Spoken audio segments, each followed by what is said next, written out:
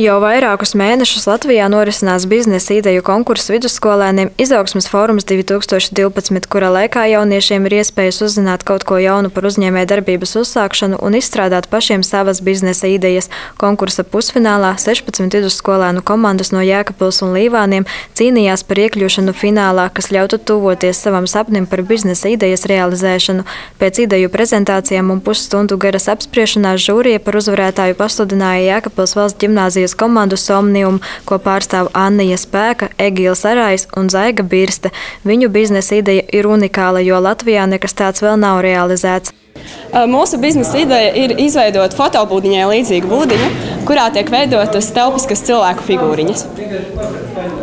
Tas darbojas tā, ka jūs, piemēram, ienākat šajā būdiņā un jūs noskanē un izveido jūsu figūriņu uz pamatnītes.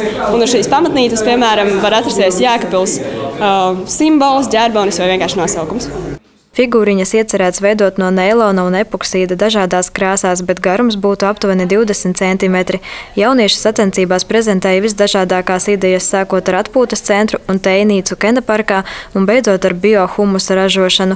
Viena no interesantākajām idejām bija padarīt liederīgus pilsētā esošos graustus, rīkojot tur atraktīvus pasākumus un spēles jauniešiem. Šīs idejas autori par fantāziju un izdomu ieguva otro vietu. Visas dienas garumā savu palīdzību ideju izstrādē jaunieši jauniešiem sniedza divi konsultanti. Viens no viņiem - Rīgas Stradiņa universitātes asociētais profesors Dainis Zelmenis - konkursantu sniegumu vērtē atzinīgi. Man šķiet, ka, ja mums ir tik spējīga jaunatne, tad Latvijas izredzes nākotnē nemaz nav tik sliktas. Mūsu lieta nav bez cerībām, kā teikt. Jo visvairāk un vis, vislabais biznesa sākās no vērtīgas biznesa idejas. Un, ja šī ideja nonāk uh, profesionāļu teiksim, rīcībā, ja, un ja ir arī iespējas atbaldi, atbalstīt ar starta kapitālu, ja, tad, tad tas biznesa aiziet.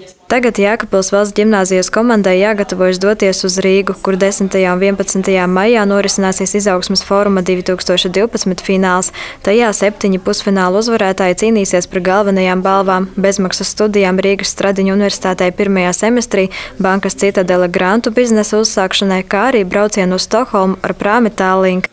Sandra Pēgaļkāne, Vladimirs Boltons, Vidusdaugos televīzija.